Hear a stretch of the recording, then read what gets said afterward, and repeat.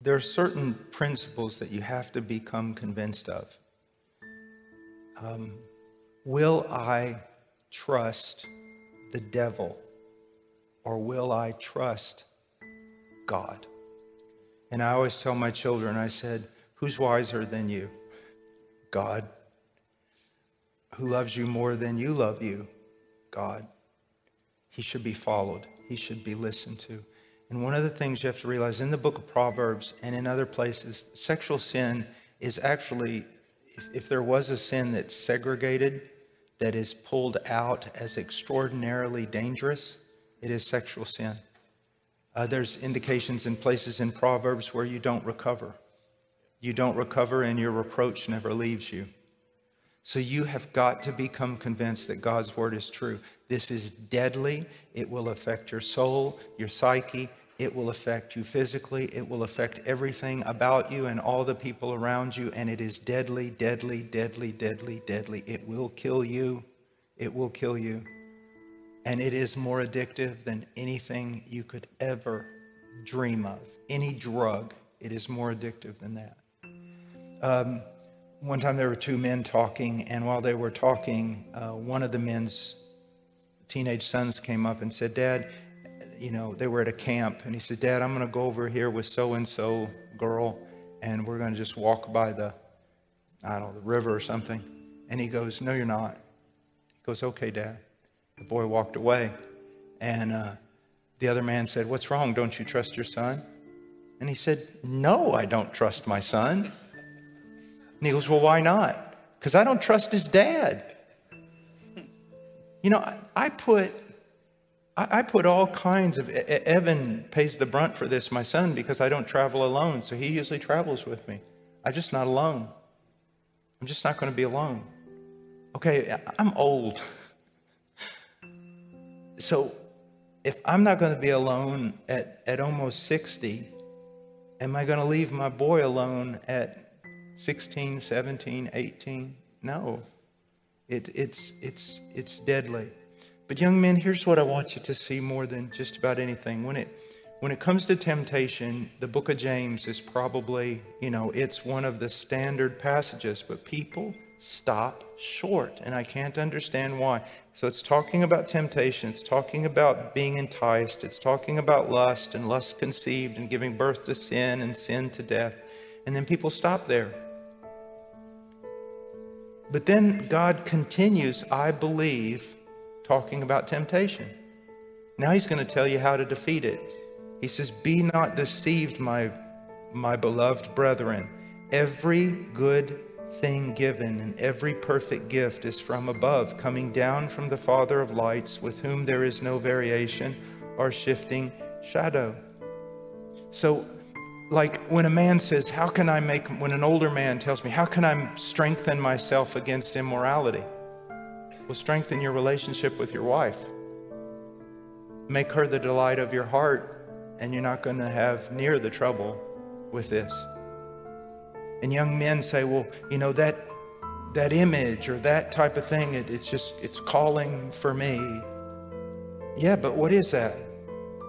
It's a perverted counterfeit. It's digital. It's made out of paper, maybe. It's, it's sick. And what are you trading? You see, the devil says, Here it is, and if you don't take this, you have nothing. That's a lie. Your answer should be, I'm not taking this because God has that. And the only difference is I need to wait. I told my sons from the time they were young, you know, and I, I usually tell young men this. They're five, six, seven years old. I'll ask them, I said, So you're praying for your wife? They go, What? Well, you're seven. She's probably born. She's somewhere in the world right now. You praying for her father? That he be a good father? You praying for her to be protected from evil men? You need to act like her husband now. When guys say, Well, I'm not married yet, so I can. No, no, no, no, no.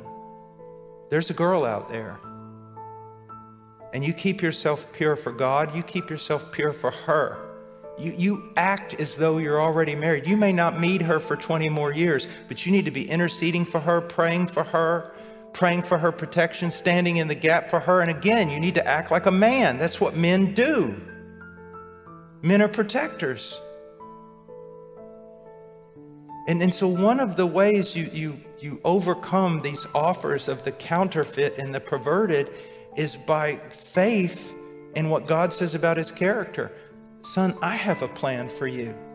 And more than likely, I have a woman for you. Wait. Wait. Because when you sin against yourself by this sexual perversion, when you sin against God, you're also sinning against her. You're sinning against her. Now, if you've fallen into this, be broken, but not broken unto despair. That's one of the ways in which the devil always wins. You see, when when when the devil God will sometimes say things just as hard to you as the devil will say. How do you tell the difference? The devil says, You're this, this, this, and this, and you've done this, this, and this. Now run from him. He doesn't want you. You're sick, you're broken, you're wrong, you're cast out. What does God say? God may speak to you even more hard than the more harder than the devil. But he always ends with, now return. My mercies are new every morning. Return to me. Return to me. And that's what you need to do. You know, just one thing, and I learned this from D. Edmond Hiebert. He's, I, I just got everything, every commentary. Every, I just love him. And in in First Thessalonians, just just listen, chapter one, verse nine, for they themselves report about us what kind of reception we had with you and how you turned to God from idols to serve a living and true God. You turned to God from idols. And Hiebert says there, he goes, the, the order is very, very important. You would assume that he would say, You turned from idols to God, but it said, You turned to God from idols. And I think Hiebert's right in this. It wasn't like the Thessalonians were there in their pagan temples and stuff going, I'm really disappointed in paganism and I wish there was something else, an alternative. I wish someone would come and preach to us. That's not what they were doing. They were totally content in their paganism, their debauchery. And, and paganism is always associated with sexual sin, even in its religion. They were content, they were happy. Do you know what made them unhappy? Was when they heard about Christ. It wasn't until they saw the light of Christ that they saw what they were doing was ugly. So when you're constantly telling men, turn away, turn away, turn away, they're probably not. And even if they do, it'll turn into some sort of self righteous Phariseeism. It's like, look to Him, look to Him, look to Him.